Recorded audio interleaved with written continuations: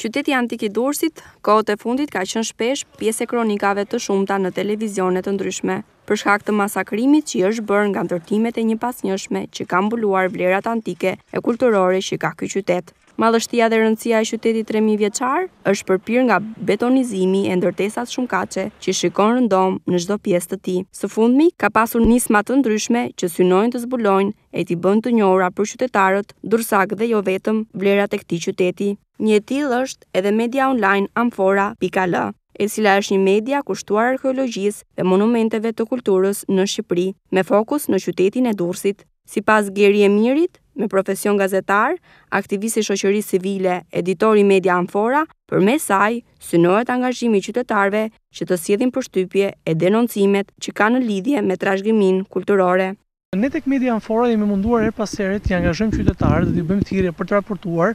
përmes sjelljes së informacioneve, denoncimeve dhe përshtypjeve që ato kanë lidhur me trashëgiminë kulturore dhe arkeologjinë, me fokus në qytetin e Durrësit. Por kemi parë që kjo nuk ishte e mjaftueshme dhe në kuadër të projektit Media për të gjithë, që zbatohet në Ballkanin Perëndimor dhe mbështetet nga Këshilli Britanik, është një projekt i cili zbatohet nga disa partnerë, siç është BIRN-i rajonal, siç është Thomson Foundation, Intrak. Është krijuar një platformë e cila quhet ECR ose Platforma e Raportimit të Qytetarëve të Angazhuar, ku të gjithë qytetarët mund të sjellin informacione dhe t'i përgjigjen pyetësorëve tanë, mund të ngarkojnë foto, mund të japin përshtypjet e tyre, gjithashtu sondazheve që ne krijojmë, për të mësuar më shumë për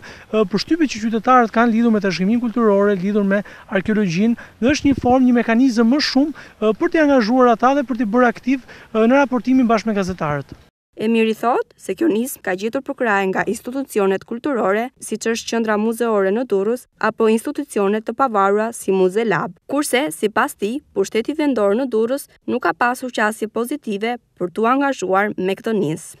Në fakt, angazhimi dhe bashkëpunimi ka qenë kryesisht me institucionet e kulturës, siç është Qendra Muzeore në Durrës apo Muze Lab, një institucion privat, të cilat kanë qenë shumë të hapur për të bashkëpunuar me ne dhe për t'i ftuar qytetarët, që ne jo thjesht të të marrim përshtypjet e tyre përmes pyetësorëve, po të organizojmë dhe takime me komunitetin, të organizojmë dhe ture kulturore për ta njohur më shumë trashëgiminë, por duhet thënë që kryesisht pushteti vendor në Durrës për shkak edhe ndoshta konfliktit të interesit, nëse mund ta quajmë në thonjëza, që ka lidhur me dhënien e lejeve ndërtimit, lidhur me projektet zhvillimore që kanë dëmtuar arkeologjinë siç është rasti i sheshit Veliera, nuk është se ka një qasje pozitive për t'u përfshirë dhe për t'u angazhuar në këtë nisëm që ne kemi ndërmarrë. Qytetarët durrsakë kanë qenë mjaft të angazhuar për të ndarë me ne mendime mbi çështje të rëndësishme siç është Veliera, shprehet Emiri për kamerën tonë. Qytetarët kanë qenë goxha të angazhuar. Nëse do merrni për shembull projektin Veliera, ata janë përgjigjur një pyetësori duke krijuar një lloj sondazhi të opinionit publik, ku ata japin mendimin e tyre për shembull nëse janë pro apo kundër atij projekti,